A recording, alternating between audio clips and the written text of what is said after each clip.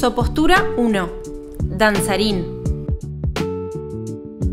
Ponete de pie y busca un punto fijo que esté frente a vos para mirar mientras realizás la sopostura.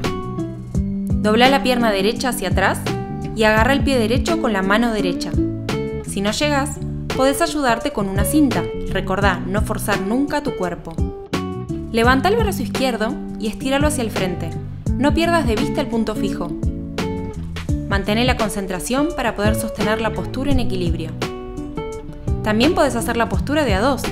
Esta postura fortalece las piernas y brinda equilibrio.